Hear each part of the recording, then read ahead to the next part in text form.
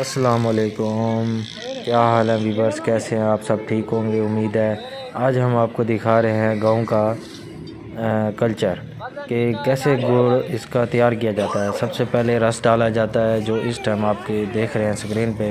इसको बहुत ही अच्छी तरह पकाया जाता है जब तक ये गाढ़ा ना हो जाए।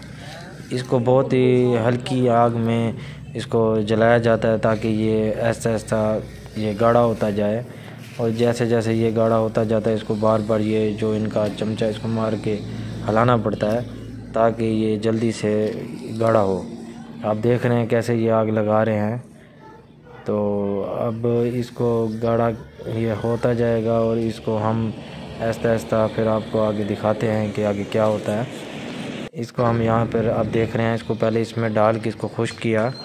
तो खुश करने के बाद हमने इसको इसके ज़रिए, हाथ के ज़रिए इसको गुड़ की शक्ल में तब्दील कर देते हैं, जैसे दुबाते हैं। अब देख रहे हैं अपनी स्क्रीन में। इसी तरह ये अभी खुश्क होता जा रहा है, इसको साइड पे करते जाएँगे। और आहिस्ता आहिस्ता ये आप लोगों की मार्केट में पहुँच जाएगा। आप लोग ले जाएँगे घरों पे। बड़े ही देखें, आपने देखा इसका कैसे ये गुड़ तैयार हो रहा है। और फिर ये जो है, बड़ी मेहनत का काम है।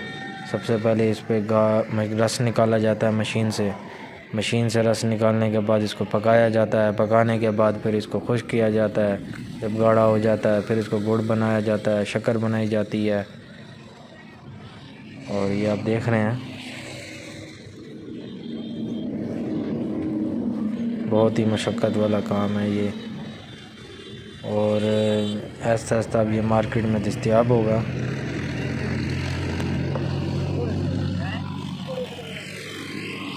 देखें, ये देखें लोग यहाँ पर खड़े हैं लेने के लिए। और ये हमारी नेशनल हाईवे के ऊपर वाक़ है।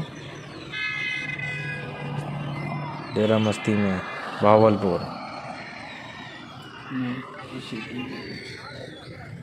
और ये आप देख रहे हैं, बहुत ही खूबसूरत और ख़ालिश गुड़ आपकी आँखों के सामने तैयार होता हुआ। कोई मिलावट नहीं है, कोई इस तरह का नहीं है।